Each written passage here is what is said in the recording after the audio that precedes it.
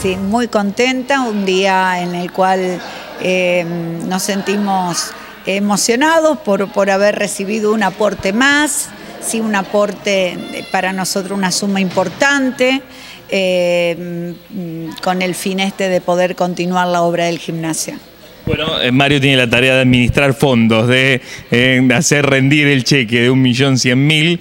¿Qué etapa alcanza con este millón cien mil? Y el 60% ya está invertido. Y el otro 40%, bueno, ahora tendremos una reunión con el arquitecto para ver con qué etapa seguimos. ¿Invertido en qué etapa fue en este caso el 60%?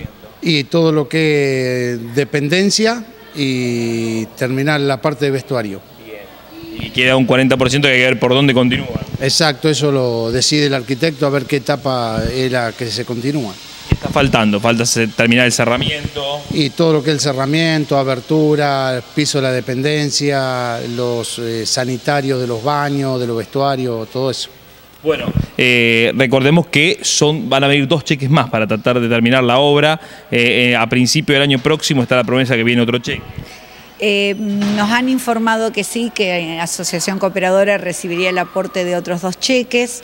El entusiasmo realmente, bueno, se nos nota toda la comunidad educativa que estamos muy contentos y sobre todo los docentes y directivos agradecerles, agradecerle infinitamente a los miembros de esta cooperadora, a quienes hoy están acá, a quienes no pudieron venir por su trabajo, pero que esto es un orgullo tener este grupo de padres que trabaja en forma incondicional para la escuela. Eh, Mario, con ese dinero se llega a terminar con la inflación permanente que hay, digamos, porque a veces uno dice, bueno, se pidió ese monto en cierto, cierto año, pero eh, hay inflación. ¿Cómo se hace para estirar los números para que se llegue a culminar la obra? ¿O bajamos la inflación? Oh, sí, ¿cómo lo bajan con...?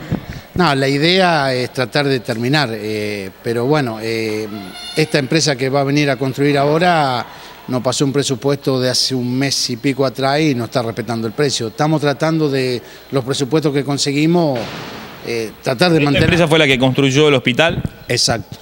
¿De dónde es? Eh, de Calchaquí. De Calchaquí. Eh, diez construcciones. Bien. Ellos harían cargo del final de todo lo que resta de la obra. La idea, por los números que están pasando, sí, sería finalizar obra. Muy bien. Bueno, no se detienen. Veo que también están terminando con los baños. Exactamente, em, esperamos que... Los baños aquí en la escuela. Los baños aquí, el pabellón sanitario de varones y de nenas y el baño para personas discapacitadas. Esperamos que al finalizar el ciclo lectivo, este estamos trabajando con, con la provincia, un FANI que hemos recibido de la delegación aquí de la región Quinta, eh, fue quien nos ayudó a poder eh, bueno, llevar esta obra adelante. Estamos en los plazos del contrato y creemos que a final de, este ciclo lectivo van a estar los baños culminados. Bueno, y respecto al, gimnasio cubierto, el plazo de obra que da, si está la plata, en el año próximo se termina. Y la idea es para mayo a más tardar tratar de inaugurar. Rápido y si se cumple lo prometido sería así. Bueno, ¿eh? más rápido que pensaba, yo pensaba más de segundo semestre. Y mayo se renueva la cooperadora también.